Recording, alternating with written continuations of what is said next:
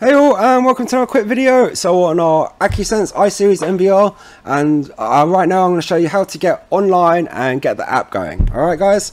So we go for this. We go to uh, System at the top, and then we go to Network on the left. So Network, and then first of all, make sure DHCP is enabled. If you know, if you don't know what this is, then make sure it's enabled. Okay. If you do know what this is, and you know what you're doing, then just ignore me, and then go straight to Advanced. So under Advanced, we have Platform Access.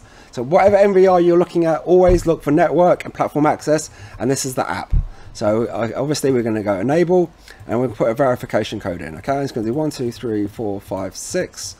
Click on here and go OK. So when you download the app and then you add the device, it's going to ask you for that code. Okay, it's just a local code for you, so no one else can view the app.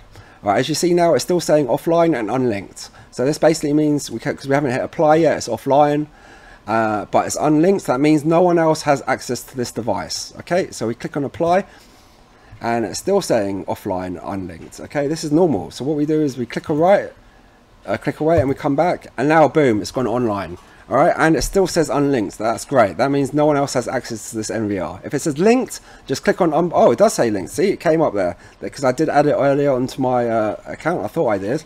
And now we can just get rid of that. So we got unbind, we put in our password for our NVR, we go next.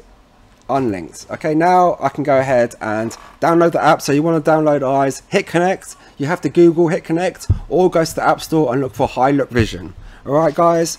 And then add device scan the QR code or use the serial number at the bottom of the DVR and then you're good to go. Alright we've got a bigger guide below if you want to check it out if, was, if this was too fast for you. Um, but that pretty much wraps it up I'm afraid guys. So thanks for watching and I'll catch you on another one hopefully. Cheers. Bye bye